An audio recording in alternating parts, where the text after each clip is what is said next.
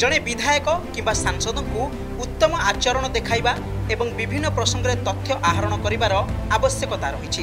ଏହା ହିଁ ନିଜର ପ୍ରଦର୍ଶନକୁ ପ୍ରଭାବଶାଳୀ କରାଇବାରେ ସହାୟକ ହେବ। ଗୃହରେ ହଙ୍ଗାମା କରି କିଛି ସମୟ ପାଇଁ ଖବରରେ ରହିଲେ କ୍ୟାରିୟରରେ ଏହା ସହାୟକ ହେବ ନାହିଁ। ସପ୍ତଦଶ ବିଧାନସଭାର ନୂତନ ବିଧାୟକମାନଙ୍କୁ ପ୍ରଶିକ୍ଷଣ ଦେବା ଅବସରରେ ଏପରି କହିଛନ୍ତି କେନ୍ଦ୍ର ସଂସଦୀୟ ବ୍ୟାପାର ମନ୍ତ୍ରୀ କିରଣ ରିଜିଜୁ। ସେହିପରି ବିରୋଧୀଙ୍କ ସହ ତାଳମେଳ ରଖି କାର୍ଯ୍ୟ କରିବାକୁ ପରାମର୍ଶ ଦେଇଥିଲେ ରିଜିଜୁ। ଏହା ବ୍ୟତୀତ ବିଧାୟକମାନଙ୍କୁ ଶୃଙ୍ଖଳା ସଂଯମତା ଓ କଠିନ ପରିଶ୍ରମ କରିବା ସହ ଗୃହର ମର୍ଯ୍ୟାଦା ବଜାୟ ରଖିବା ପାଇଁ ସେ ଆହ୍ୱାନ ଦେଇଥିଲେ। ନବନିର୍ବାଚିତ ବିଧାୟକଙ୍କୁ କିଛି ଶିଖାଇବା ପାଇଁ ନୁହେଁ ବରଂ ସଂସଦରେ ଜଣେ ସଦସ୍ୟ ଭାବେ ନିଜର ଅଭିଜ୍ଞତା ବାଣ୍ଟୁଥିବା କହିଥିଲେ କିରଣ Rijiju.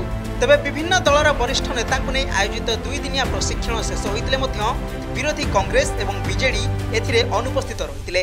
Bureau report mobile news twenty four into seven.